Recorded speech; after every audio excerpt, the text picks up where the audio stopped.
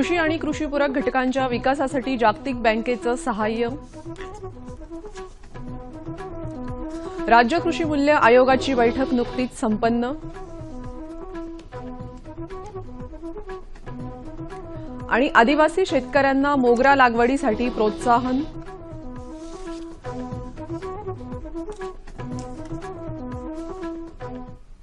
नमस्कार मी निलिमा सोनार कृषी वार्ता बातमीपत्रात आपलं स्वागत. आता पाहूयात सविस्तर वृत्त. राज्यातील कृषी आणि कृषीपूरक घटकांच्या विकासासाठी जागतिक बँकेच्या सहाय्यानं सुमारे दोन हजार दोनशे वीस कोटी रुपयांची गुंतवणूक केली जाणार आहे. कृषी आणि कृषीपूरक व्यवसायाशी निगडीत सर्व घटकांच्या सर्वांगीण विकासासाठी जागतिक बँकेच्या सहाय्यानं महाराष्ट्र राज्य कृषी व्यवसाय आणि ग्रामीण परिवर्तन प्रकल्पाची अंमलबजावणी करण्यात नुकतीच मंत्रिमंडळाच्या बैठकीत तत्वत मान्यता देण्यात आली. यामुळे राज्यातील शेती क्षेत्रास मोठा लाभ होऊन ग्रामविकासाला चालना मिळणार आहे. प्रकल्पाच्या अंमलबजावणीचा कालावधी सहा वर्षे ठरवण्यात आला असून आवश्यक मनुष्यबळ आणि प्रकल्प आराखडा तयार करण्यास मान्यता देण्यात आली. स्मार्ट प्रकल्पाअंतर्गत कृषी मालाच्या पवनविषयक पायाभूत सुविधा निर्माण करण्यावर विशेष भर देण्यात येणार असून गुणवत्ता तपासणी संगणीकृत शेतमाल लिलाव निर्यात सुविधा अशा अनेक सुविधांचं आधुनिकीकरण आणि बळकटीकरण करण्यात येईल. तसंच शेतकऱ्यांच्या सहभागातूनच त्यांच्या उत्पन्नात देखील वाढ करण्यावर भर देण्यात येईल. महाराष्ट्र राज्याच्या कृषी मूल्य आयोगाचे अध्यक्ष पाशा पाटील यांनी नुकतीच कृषी मूल्य योजना कृषी अर्थशास्त्र आणि सांख्यिकी विभाग डॉक्टर पंजाबराव देशमुख कृषी विद्यापीठ अकोला इथं राज्य शासनाच्या मार्फत राबवण्यात येणारी पीक उत्पादन खर्च काढण्याची योजना आढावा बैठक घेतली. याप्रसंगी महाराष्ट्रातील कापूस पिकाच्या समस्या अडचणी बाजारभाव आणि उद्योगाच्या संधी त्यांनी जाणून घेतल्या. तसंच शेतकरी आणि व्यापाऱ्यांनी एकत्रितपणे शेती उत्पादक कंपन्यांचं जाळं विस्तृत करून एक गाव एक पीक पद्धतीचा पुरस्कार करावा असंही त्यांनी सांगितलं.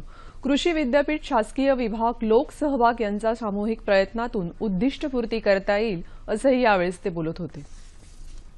पालघर जिल्ह्यातील विरार इथं नुकतंच कृषी मेळाव्याचं आयोजन करण्यात आलं. पालघर जिल्ह्यातील आठ तालुक्यातील शेतकऱ्यांचा यात सहभाग होता तर पालघर जिल्ह्यात पारंपरिक पद्धतीनं होणाऱ्या भाताच्या जाती कुडई हात सडी वाडा कोलम इंद्रायणी तसंच नागली वरई घोलवड चिकू वसई केळी हळद उडीद वाल तसंच भाजीपाला आणि सेंद्रिय माल थेट ग्राहकांसाठी विक्रीसाठी उपलब्ध होता. या जिल्ह्यात मोठ्या प्रमाणात शेतकरी असून त्यांना शेतीचं योग्य मार्गदर्शन मिळाल्यास त्यांच्या उत्पन्नात वाढ होईल. याशिवाय आदिवासी शेतकऱ्यांना मोगरा लागवडीसाठी विकास निधीतून प्रोत्साहन देखील देण्यात येणार आहे.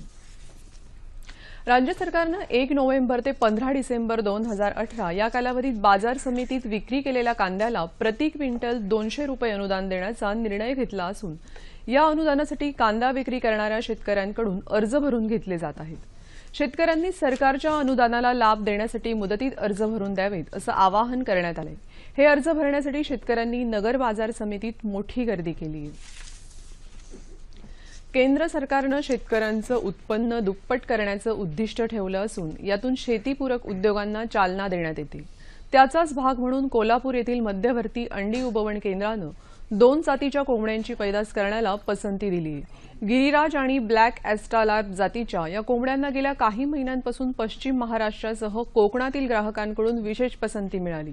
इतर गावठी कोंबड्यांपेक्षा या कोंबड्या वजनाने आणि अंडी देण्याच्या क्षमतेत अधिक दर्जेदार आहेत. या कोंबड्यांना अधिक फायदेशीर ठरत असून अंडी उपवन केंद्राच्या मदतीनं जादा पैदाशीसाठी प्रयत्न करण्यात येत आहेत. आता पाहूयात बाजारभाव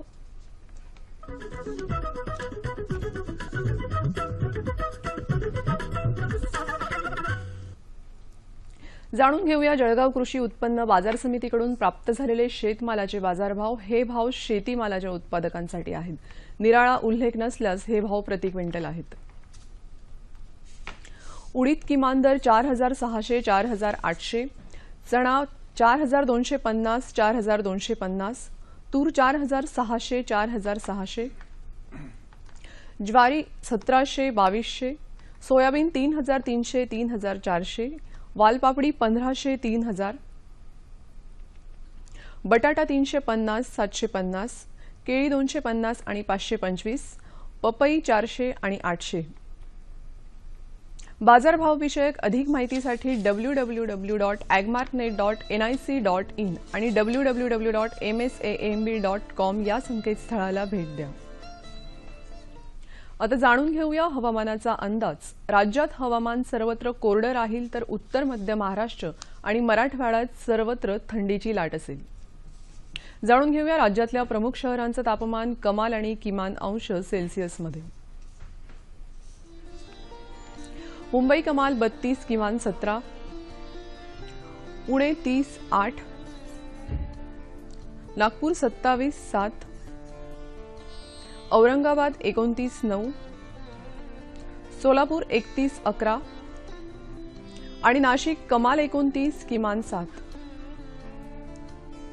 हवामान विषयक अधिक माहितीसाठी W W W dot I M D dot G O V dot in आणि W W W dot I M D Mumbai dot G O V dot in या संकेतस्थळाला तुम्ही भेट देऊ शकता. याबरोबरच आजच्या कृषी वार्ता संपल्या. पुन्हा भेटूया पुढील कृषी वार्तात तोपर्यंत नमस्कार.